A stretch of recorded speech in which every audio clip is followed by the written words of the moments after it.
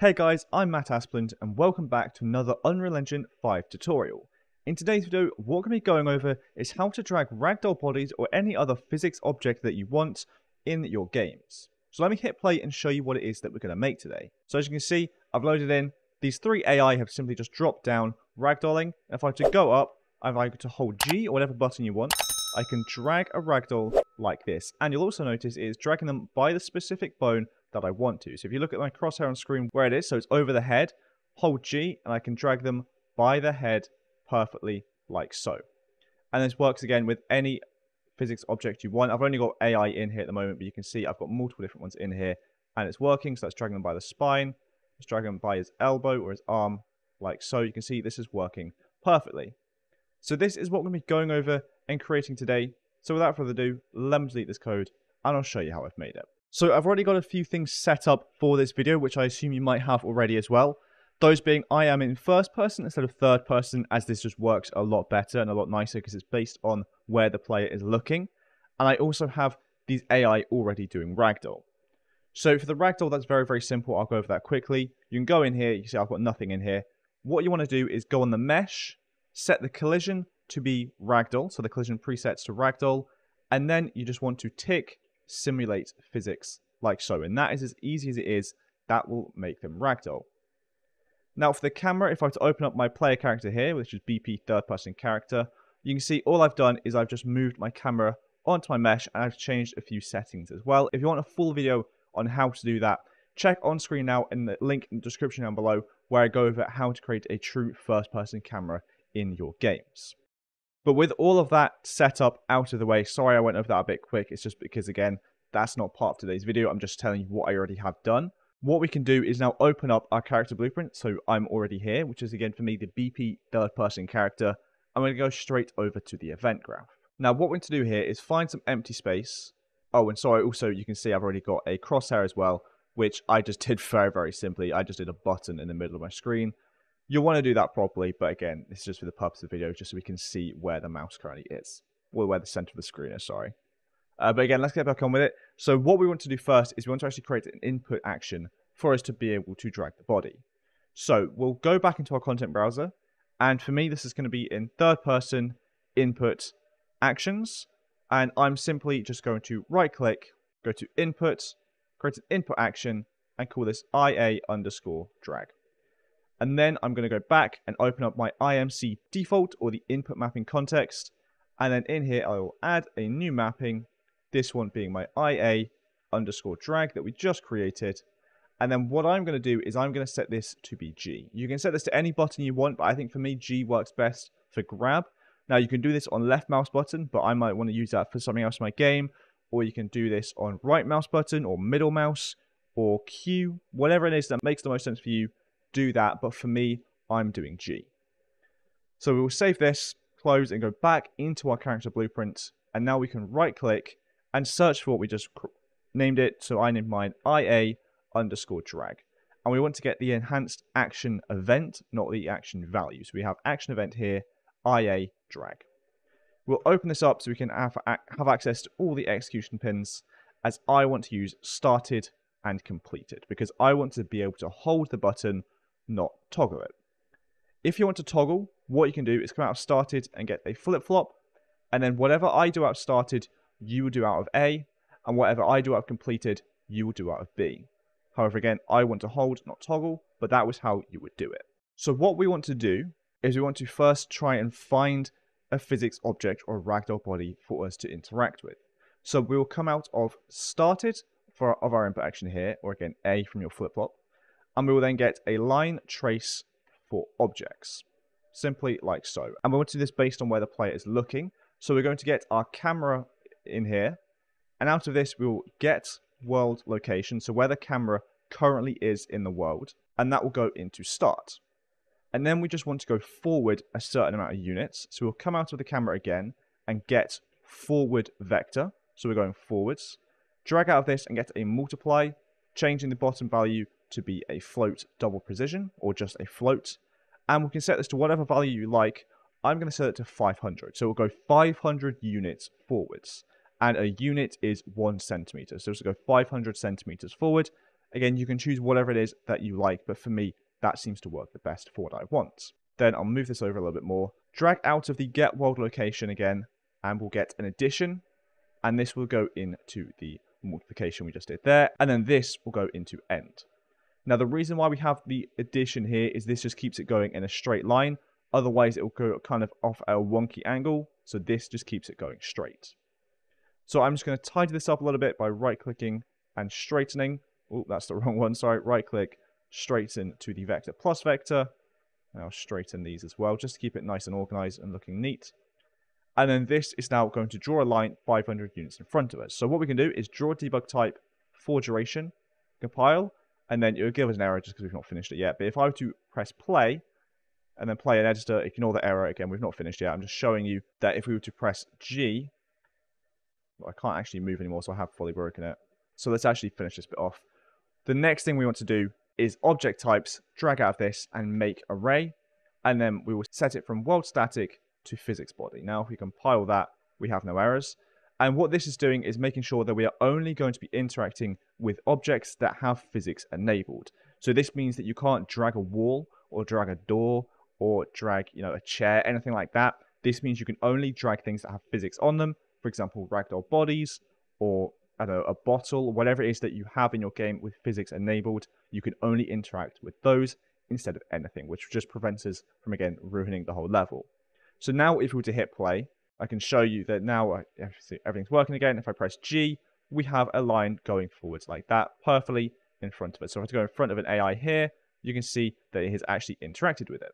So you can see it's interacted because it has a little red square at the bottom of it, whereas on the floor it doesn't have that, which means we can drag the physics body there, but we can't drag the floor here, which is perfect. So let's go back into our code here and start finishing it off again. What we want to do after the line trace is hold down B and left click to get a branch, plugging in the return value into the condition and the branch into the execution there. And this just means that, again, it will only do it if we hit this physics body. So we have to make sure that the return value is true, so we have hit something that we want to hit. Then we're going to get the out hit and break hit result, opening this up like so.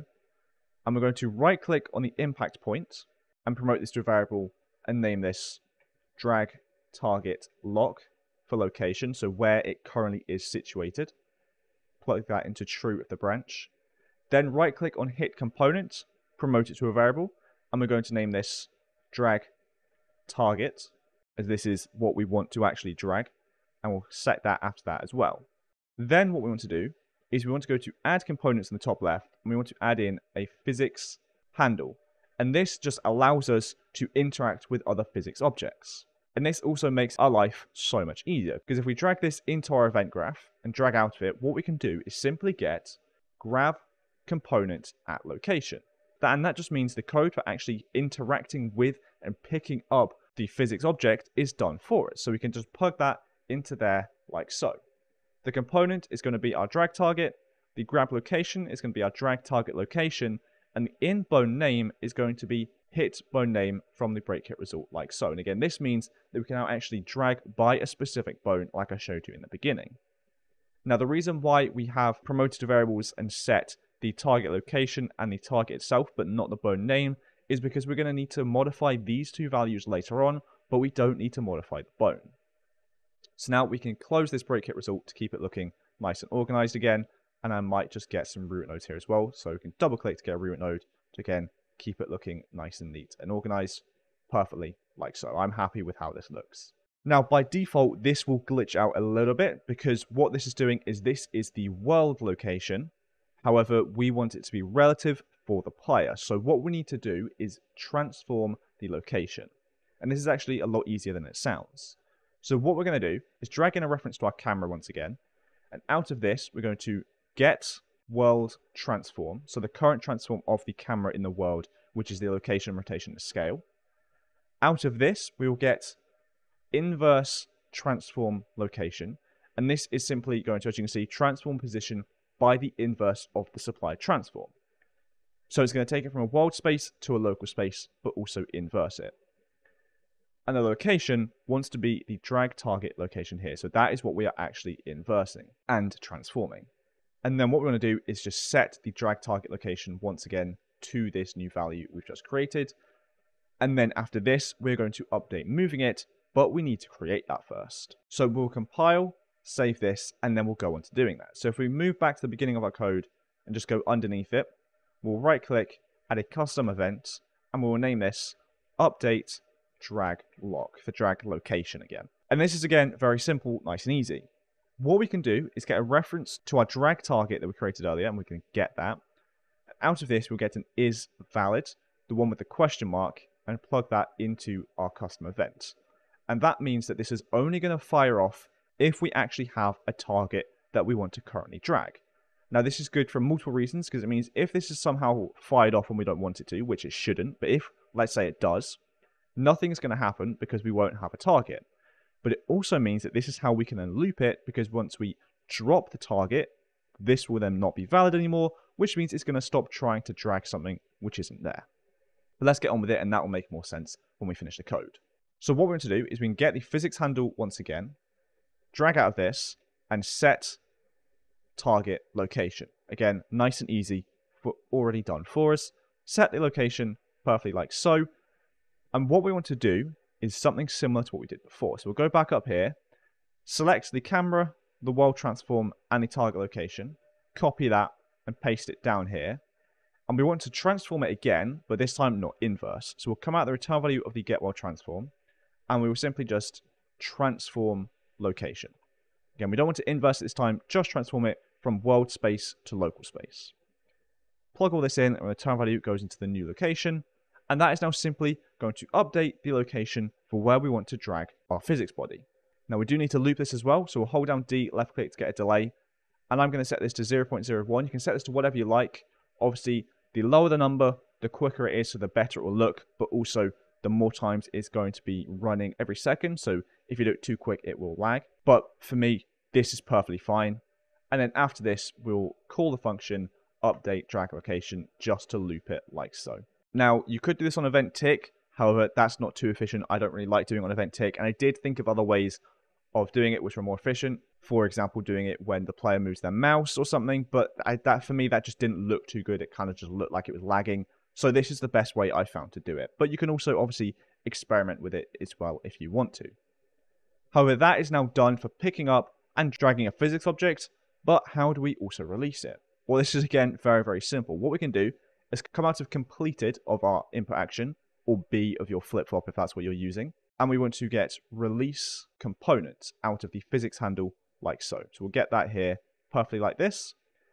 And then what we want to do to fix this loop down here is just set our drag target to blank like so. So just set it and don't put anything in there. That will mean it's no longer valid, which means this loop will stop.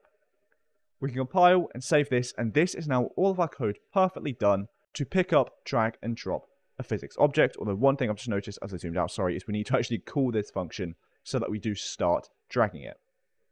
So just at the very end of the code here, where we have the set drag target location, we're going to call function update drag lock. And that is now completely done. It's going to drag it. So compile, save, and close this. If I were to hit play, you can see if this is working. So we load in, we can see all the physics objects falling down ragdoll like so. And if I were to go up to one, put my crosshair over the foot, hold G, and I can drag, and you can see we are now dragging this physics object perfectly like so. Hold them by the head, and we're doing that as well. Hold them by the spine. This is working perfectly, as you can see. What I'm going to do as well is remove the line trace. So we'll go back into our code. Let's go into our third person character. Go to the line trace and just turn the draw debug type from for duration to none. Compile, save, and this is again now working perfectly. We're not seeing any debug options. Look over here, go to this one first, pick it up perfectly like so. And so with that, I think that'll be it for this video as we've done everything we've wanted to do.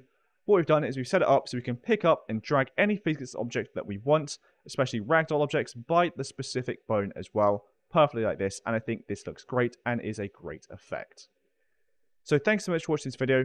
If you did enjoy it and find it helpful, please do make sure to like and subscribe down below, as it really does help me and our channel out a lot, and we're trying to hit 100,000 subscribers, so any help is really appreciated, and if you can share the channel as well, that would also be great. So again, thanks so much for watching, and I'll see you all in the next one.